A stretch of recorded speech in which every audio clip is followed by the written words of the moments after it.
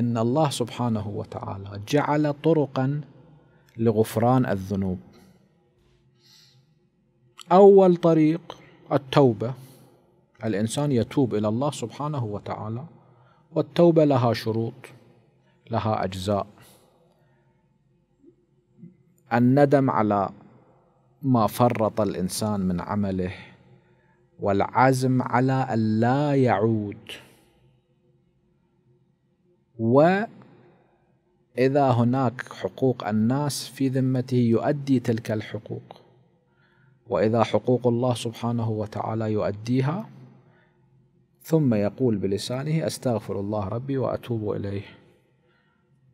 إذا واحد هالشكل يقول أستغفر الله ربي وأتوب إليه وهو عازم على تكرار المعصية.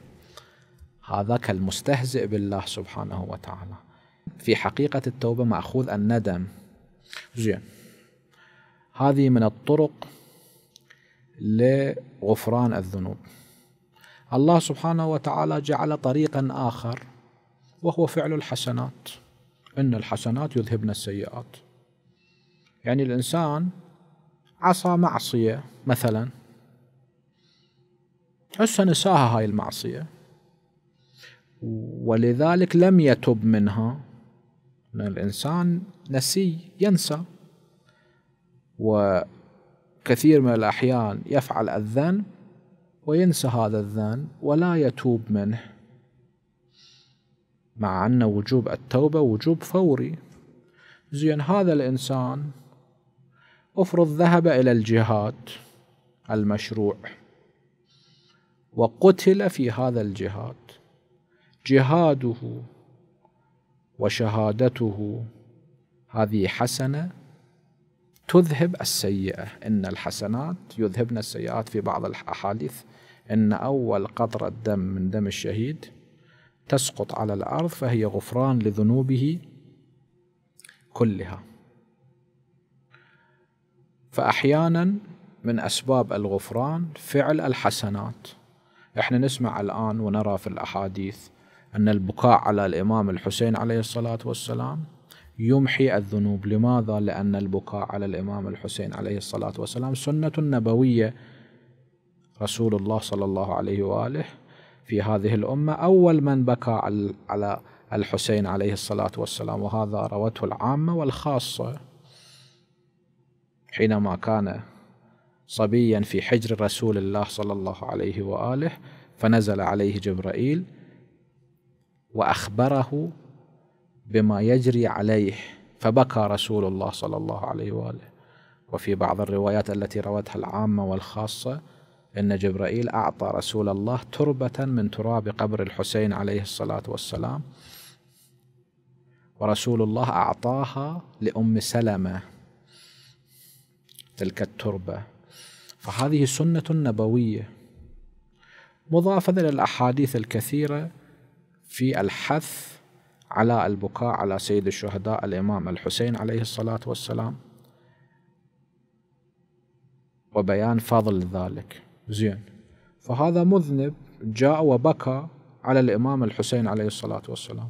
الله سبحانه وتعالى يغفر له ذنوبه. طبعا غفران الذنوب ليس معناه سقوط حق الناس. لا. بمعنى أن الله سبحانه وتعالى لا يؤاخذه على ذلك الذنب كالتوبة. مثل ما إذا واحد تاب من ذنبه هذا مو معناه أن حقوق الناس تسقط منه بل يؤخذ في حقيقة التوبة أو من شرائطها أداء حقوق الناس. إذا واحد سرق ثم جاء إلى مجلس الإمام الحسين وبكى على الإمام الحسين عليه الصلاة والسلام. هذا ما يسقط من ذمته حق الناس يعني يجب أن يرجع إلى الناس حقهم. لكن ما يتعلق بحق الله لأن السرقة معصية لله سبحانه وتعالى. فقد الله سبحانه وتعالى يغفر له. وهناك أسباب أخرى لغفران الذنوب كدعاء المؤمنين. يمكن المؤمنون يدعون لإنسان الله سبحانه وتعالى يستجيب دعاءهم فيغفر له. واحد أبوه ميت كان أبوه عنده مثلا بعض المعاصي. أنت ترفع يديك وتقول ربنا اغفر لنا ولوالدينا. اغفر لي ولوالدي. قد الله سبحانه وتعالى يستجيب هذا الدعاء ويغفر ذنب الوالد ببركة دعاء الولد. لأن الله سبحانه وتعالى سبقت رحمته غضبه. فإذا أكو مجال للرحمة الله سبحانه وتعالى يرحم. وإذا الله أخذ إنسان بذنبه أو عاقبه في يوم القيامة أو في هذه الدنيا فلأنه بعد خلاف الحكمة تركه. ماكو مجال للرحمة. فإذا صار خلاف الحكمة الله حكيم. رحمة الله سبحانه وتعالى تسع كل شيء. لكن إلى حد لا تكون تلك الرحمة خلاف الحكمة.